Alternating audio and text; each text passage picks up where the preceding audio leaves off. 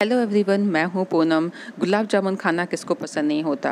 लेकिन मावा और खोए के गुलाब जामुन बनाना थोड़ा सा मुश्किल हो जाता है, क्योंकि हमेशा गुलाब जामुन के लिए खोया या मावा अवेलेबल नहीं रहता है घर पे। इस वीडियो में हम देखेंगे कि घर के सामान से ही किस तरह से गुलाब जामुन आसानी से बनाए जा सकते हैं। मैंने यहाँ पर पैन में एक चम्मच घी ऐड कर दिया था और यहाँ पर मैंने एक कटोरी सेट कर ली है। उसी से हम सारे मेज़रमेंट रखेंगे। दो कटोरी फुल मैंने यहाँ पर दूध लिया है। और फिर धीरे धीरे करके हम दूसरे इंग्रेडिएंट्स भी ऐड करेंगे। दूध को चलाते रहेंगे धीरे धीरे करके। ये सूजी के गुलाब जामुन बनाना बहुत ही आसान है। एक पिंच मैंने सैफरन केसर ऐड किया है और आधा चम्मच यहाँ पे इलायची दाना ऐड कर देंगे, जिन, जिसको कि मैंने चीनी के साथ पीस के रखा है इलायची दाने को। धीरे धीरे दूध को मिक्स करना स्टार्ट कर देंगे। अच्छा सा केसर का रंग निकल के आ जाएगा। दो तीन मिनट में ही फिर हम सूजी ऐड करना स्टार्ट करेंगे।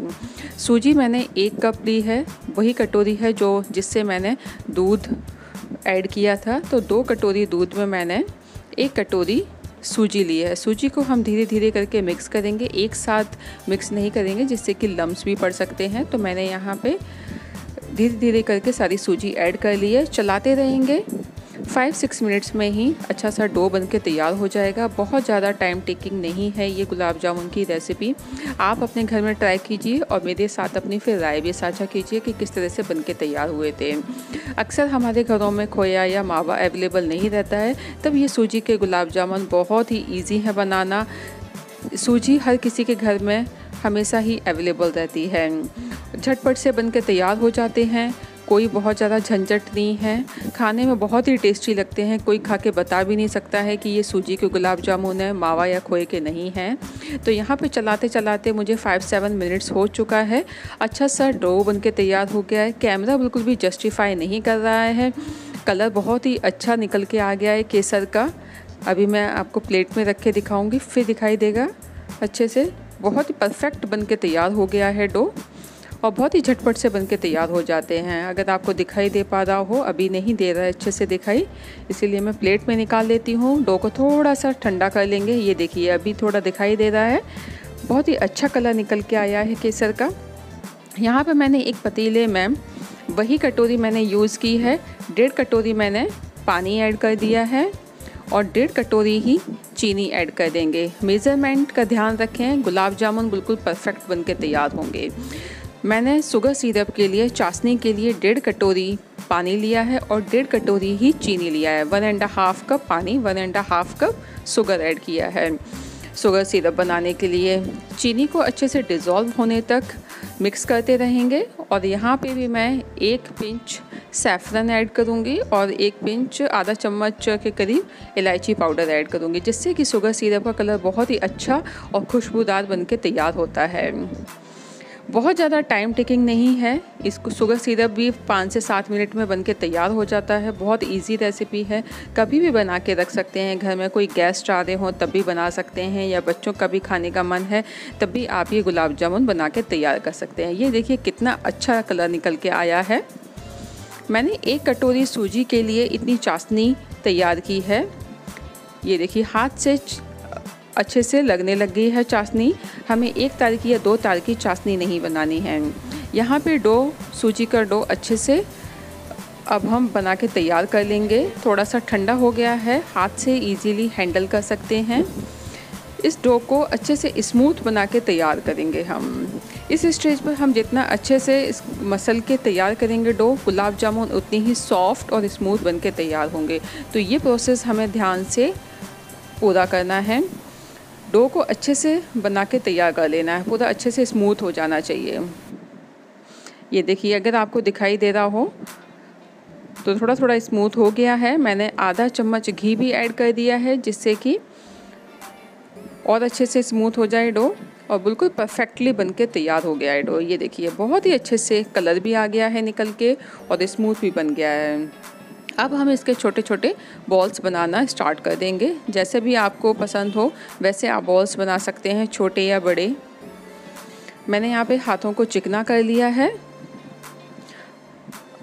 छोटे छोटे पोर्शंस ले लेंगे और इसी स्टेज पर हमें ध्यान रखना है कि बॉल्स में कोई भी क्रैक्स ना रहे। अच्छे से हाथ की हथेलियों से बिल्कुल मसल के गुलाब जामुन बनाने हैं। ये देखिए, बहुत ही स्मूथ बन के तैयार हो रहे हैं। यहाँ पे इस स्टेज पे हमें बस यही ध्यान रखना है कि क्रैक्स ना हो। बिल्कुल परफेक्ट बन के तैयार होते हैं ये गुलाब जामुन। ना चपटेंगे, ना फटेंगे और ना ही घुलेंगे ये गुलाब जामुन, ना ही टाइट होंगे अंदर से। यहाँ पे मैंने वेजिटेबल ऑयल लिया है। आप चाहे तो घी भी ले सकते हैं या फिर वेजिटेबल ऑयल भी ले सकते हैं। जैसा आप प्रेफर करें। एक एक करके ऐड करना स्टार्ट कर देंगे। गैस का फ्लेम मैंने सिम रखा है। सिम टू मीडियम पर ही हम फ्राई करेंगे। सूजी के गुलाब जामुन है। अंदर तक फ्राई होना बहुत ज़रूरी है। अंदर तक सिकना बहुत ज़रूरी है। इसलिए गैस का फ्लेम हम सिम ही रखेंगे और अभी हम इनको कढ़ाई को बस इस तरह से धीरे धीरे करके हिलाते रहेंगे। कड़छी से हम टच नहीं करेंगे। अदरवाइज़ उसमें क्रैक्स पड़ जाएँगे गुलाब जामुन में। तो वो अच्छे नहीं लगेंगे देखने में। इसलिए कढ़ाई को बस धीरे धीरे करके हिलाएँगे और उसी पे सेकेंगे हम। धीरे धीरे करके सेकेंगे। 10 से 15 मिनट भी लग सकते हैं सीखने में। वैसे तो 10 मिनट में सीख जाते हैं। बहुत ही अच्छे से सिक्के तैयार होते हैं 10 मिनट में।